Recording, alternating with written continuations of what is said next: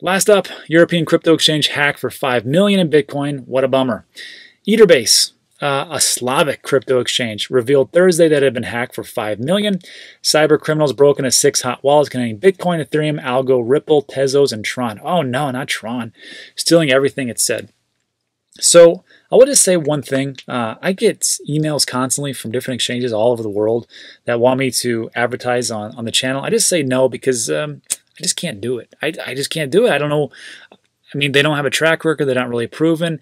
There's a lot of risk, but there's a lot of reward on that, you know. Uh, but I just won't do it. And this is the reason why, because of stuff like this.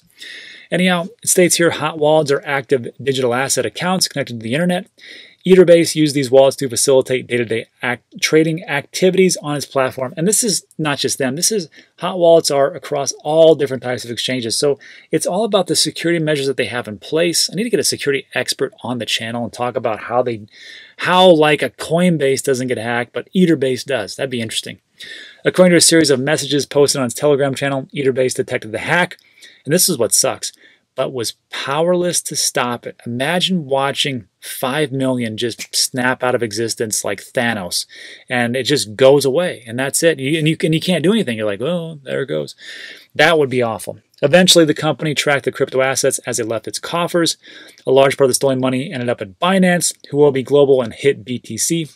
It claimed on Twitter Etherbase has now contacted these exchanges requesting that the funds be frozen, and I will do a follow up to this story if this actually happens. And uh, because there's there is two different um, segments of people. One one group is like, you know what, it's cryptocurrency digital assets. So if that happened, too bad, so sad. Sorry, Charlie, you lost your money. There's another part that says, you know what, we have the power and ability to do this. Let's freeze these assets.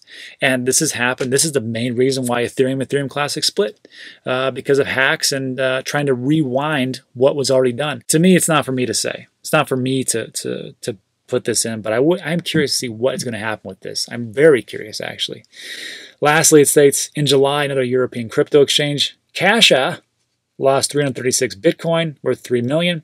And then also last year, Japan, uh, Japan's Bitpoint, damn, they lost 32 million. And a few months later, South Korean platform Upbit uh, lost 52 million. Uh, Zaif, another Japanese exchange, was attacked for 60 million in 2018. So this is some of those problems I talk about with exchanges and hot wallets. And the question then comes up is like, well, should I just hold everything into my uh, Nano Ledger, which is a cold wallet? Should I put it someplace else? And this is actually a complex uh, answer. And I'm going to do that right now in Q of the day. So let's jump in the office.